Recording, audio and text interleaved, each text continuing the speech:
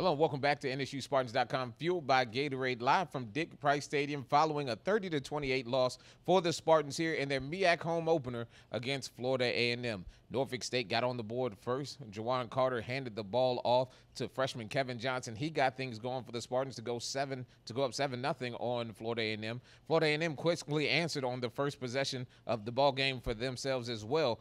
Then it was a little bit of a stalemate as both defenses really stepped up. But then Norfolk State again offensively got going. Gerald Hewlett got his first rushing touchdown of the day, and the Spartans took a 14 to 7 lead.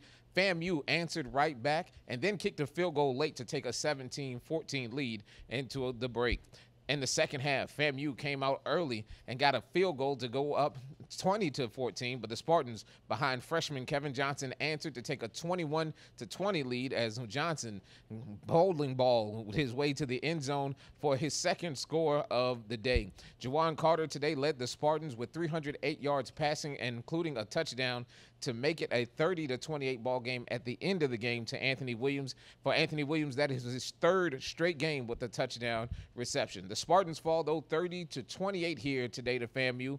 0-1 as they welcome in North Carolina A&T, the reigning MEAC champions, here to Dick Price Stadium next week. We'll take this time now to look at our top five plays from today's ball game as Norfolk State kept it close but couldn't pull off the victory against Florida A&M. We start with play number five, and again, it's Justin Smith. He seems like he's always on top five plays as he pulls down this incredible 24 yard catch over the defensive back Troy Hilton of FAMU.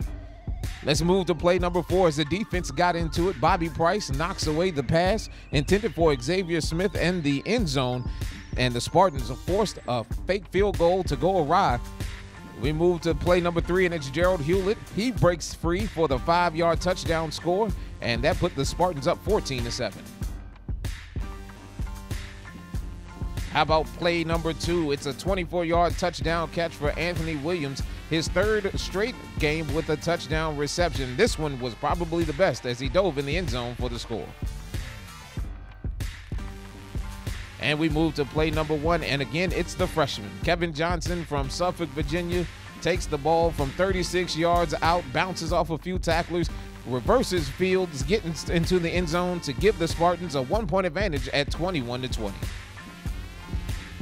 Those were your top five plays from today's ball game. Again, the Spartans fall to one and four on the season. 30 to 28, your final score here as Norfolk State falls to Florida A&M. We'll see you next week as Norfolk State hosts North Carolina A&T. Game time is at 2 o'clock p.m. from Dick Price Stadium. You can join us here or follow us on the NSU Sports Network. Thank you for watching www.nsuspartans.com, fueled by Gatorade.